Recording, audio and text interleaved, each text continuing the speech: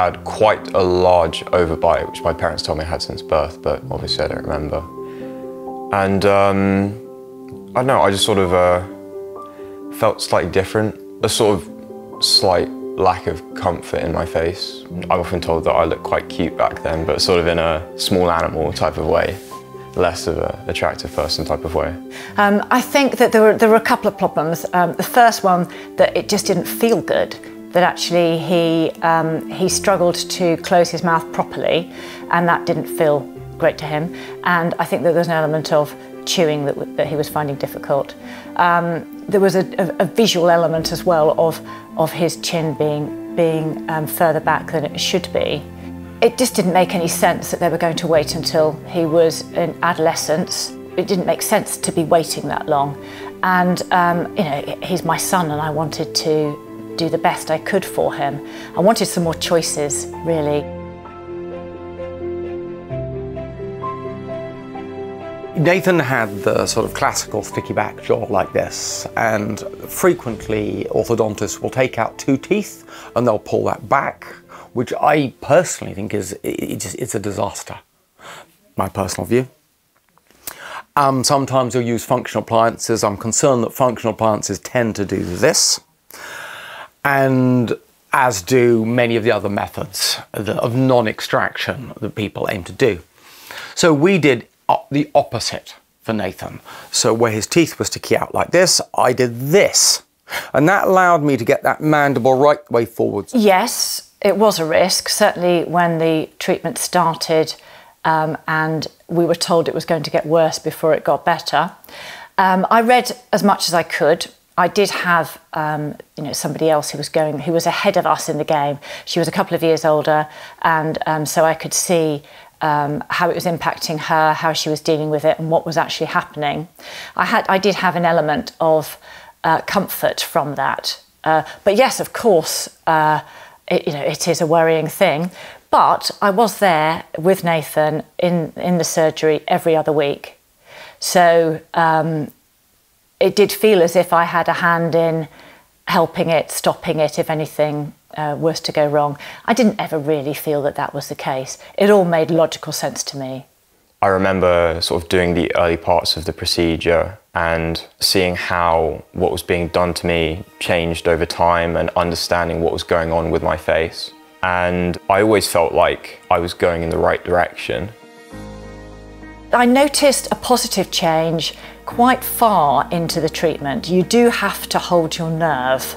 You do have to wait, and there is a lot of patience, which is a, an issue for the child. The child needs to also understand that. Um, and I can't quite recall because we've done this for the last eight years, but you know, it was a, it was probably a year or more into the treatment where I could positively see that it, it was um, it, you know, things were changing. It was going to have a great outcome. There was one point at which I just got completely fed up with the whole thing and I gave it up for a few months and when we came back there had been a sort of drop in how the treatment was working for me. I'd sort of receded back into my old ways. It has been a struggle for Nathan. It's been eight years of him having to wear different contraptions in his mouth, which probably haven't been that comfortable. We had some moments with Nathan and we, we had to get him back on board and I had to sit down on his level and talk to him in what's called an age appropriate manner, which I believe I'm quite good at. And you know, you've got to make that bond with a child. And you've got to sit down and say, look, what do you want? You know, how are we going to progress? You know, we've been at this for a long period of time. Do, do you want to throw that away? I think one of the greatest motivational tools that I have is the start photograph of the individuals I'm treating. Because I can hold up their start photograph and I can say, do you want to go back to this?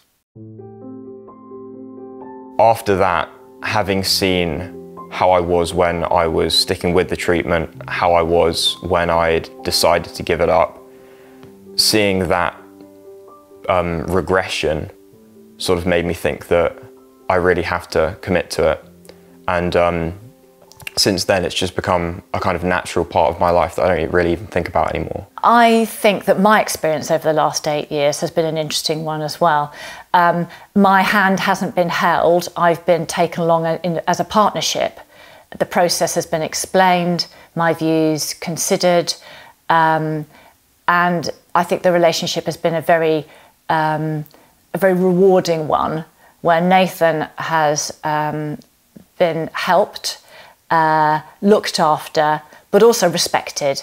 As, as I feel I've been respected as well. And we feel that we've been part of something that is new and exciting. I'm definitely confident in the decision, well, my parents' decision to put me through this and uh, bring me to where I am now. So I think I'm definitely in a better place than I would have been.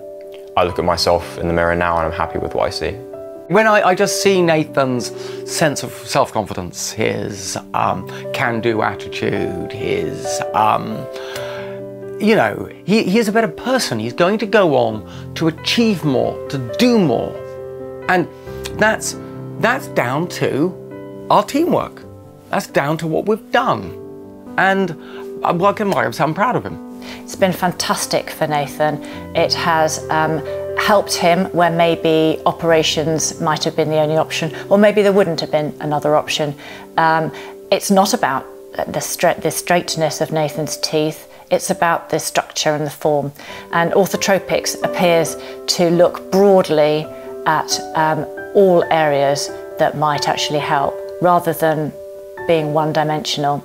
It would be great if other families were offered this type of treatment. Everyone wants to look good, everyone wants to feel good and to be attractive. And when that's offered to you, I think it's natural to take the opportunity.